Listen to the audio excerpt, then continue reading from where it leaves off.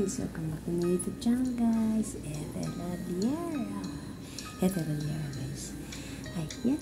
May galaw charot ay welcome back to my YouTube channel! So ayan guys, hindi pa tayo dinadalaw ng at sinusumpungan po tayo ng ating anxiety. So ayun, hindi pa po ako inaantok.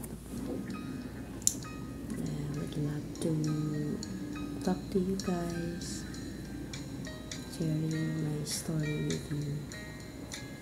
Well, I can't sleep. Samahan niyo. So, if ever na nangyari po sa inyo ito, what will you do? So, comment down below guys kung pag hindi po kayo, if you're not sleepy yet, even if it's late already, it's 2 o'clock already, what will you do? Ano pong gagawin? Comment down below guys kung ano yung gagawin. Ngunit kasi, if I'm, if I cannot sleep, pag hindi po ako inaano, I read, I pray, and I meditate.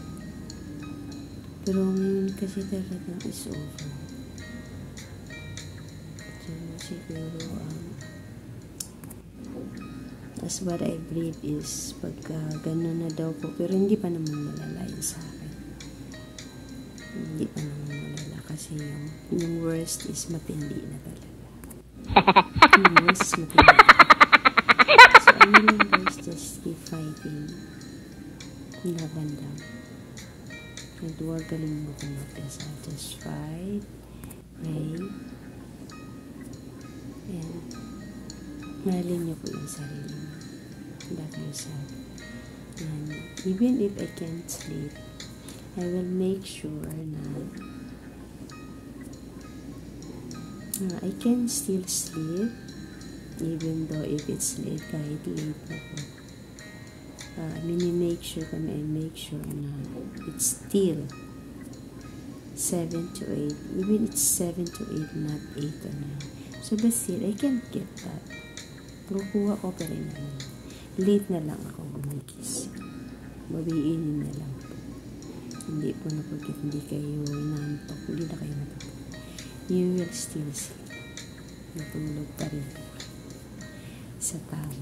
So, i-consume nyo pa rin yung 8 to 9 hours or as we grow older kasi hindi na natin ma-achieve yung 8 to 9. So, lesser na lang siya. Pero ako na-achieve ko pa rin po yun. Although hindi po siya sa tamang oras, not at the right time, pero I make sure na yung sleep ko ay ganun pa rin. Nakukuha ko pa rin. Kasi yun naman talaga, para yung body niyo po, yung, brain, all parts of your body nare-relax. Kaya kailangan po natin mag-sleep kasi kailangan din magpahinga yung brain. Mag-sleep siya at lahat ng mga nerves natin, mga muscles and all, and even the internal ano natin, organs. Kailangan po mag-rest. Lahat-lahat. Kaya, kahit hindi kayo pinapatulog ng inyong anxiety or depression, matutulog pa rin po kayo. My tip for you is you really have to sleep. You will lie down. Of course, pray ka muna bago ka mag-ano. You will lie down and meditate.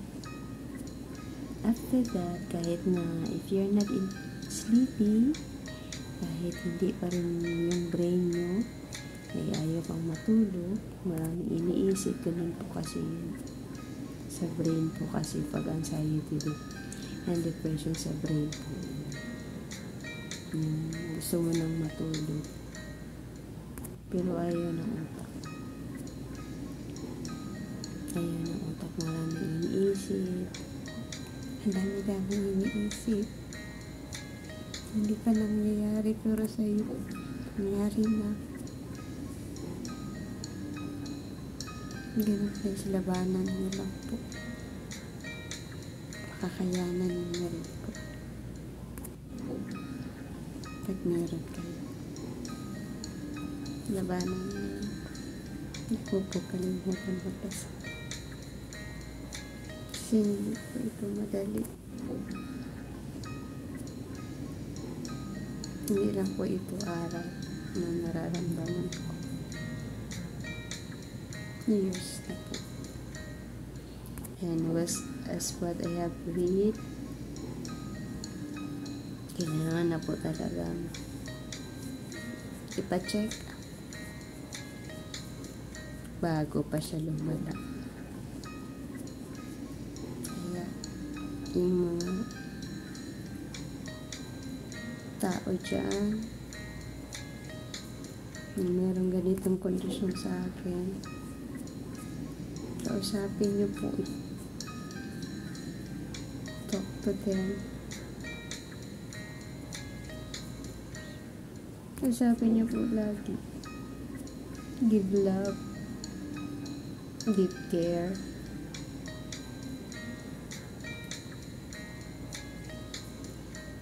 And let them have, let them experience that you love them.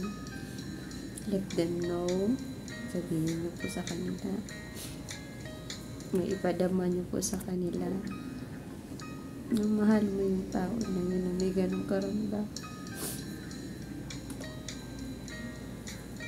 Kasi hindi po natin alam hindi na pala siya magtatagal. Hindi natin alam na ba't hindi na pala nararamdaman na. Sino man po yung kagaya sa kondisyon ko. Comment down below guys.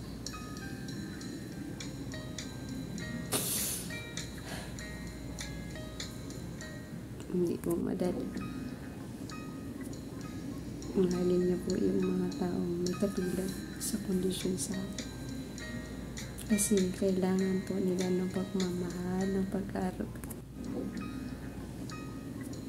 Kailangan po nila ng kausap.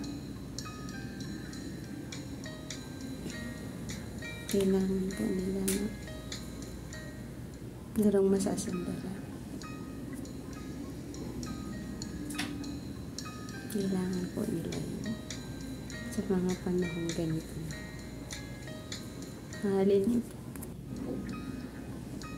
Huwag pong papabayaan. Don't let them. Kasi hindi po natin alam. We will never know. It's going to be the next day, the next month. Give love.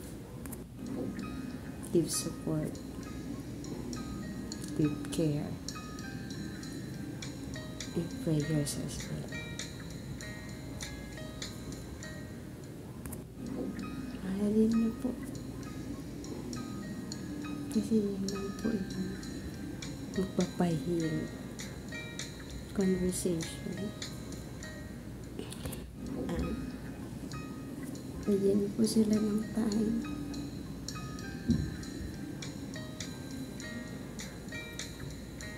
Yun lang po yung pinaka-importante.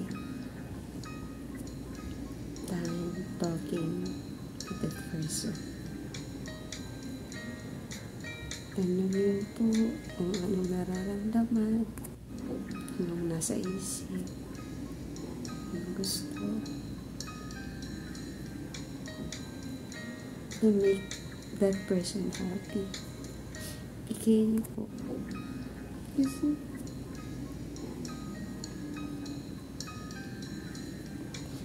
baka susunod na araw ninyo na mabibigay too late na.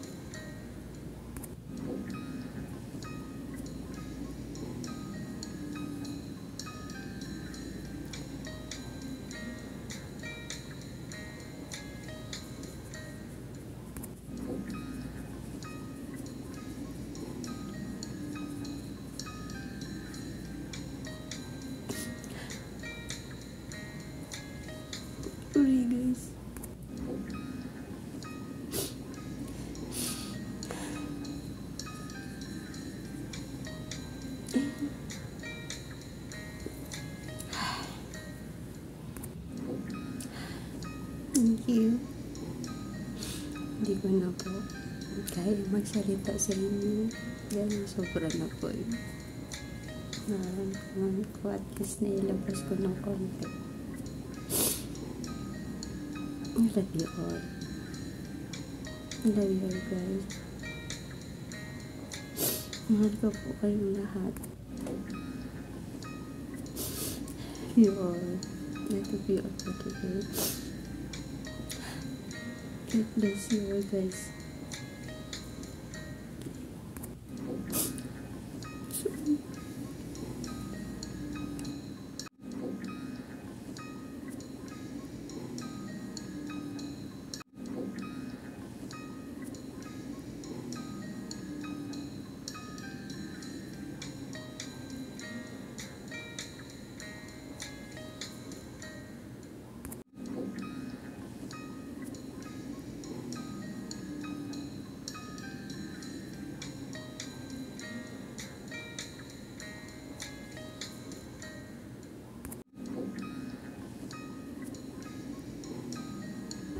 Let's stay connected.